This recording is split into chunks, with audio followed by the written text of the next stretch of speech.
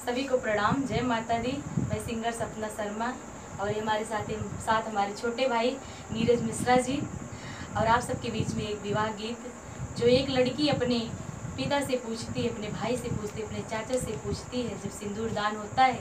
अगर आप सभी को ये गीत अच्छा लगे तो आप सब हमारे चैनल को सब्सक्राइब करिएगा और कमेंट करके बताइएगा कैसा लगा। आइए सुनाते बाबा